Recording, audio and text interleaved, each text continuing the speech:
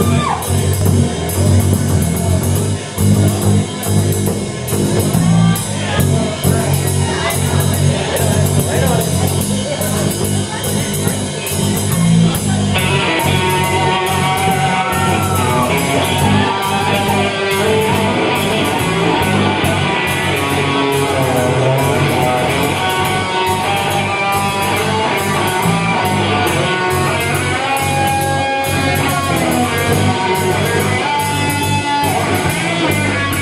better show.